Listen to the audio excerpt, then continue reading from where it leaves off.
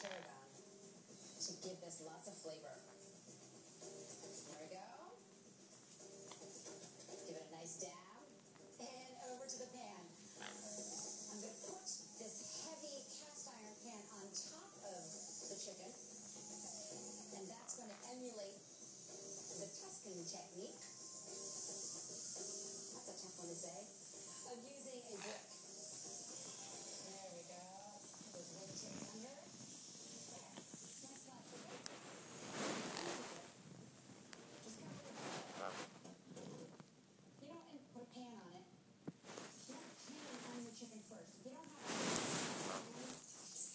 I'm using.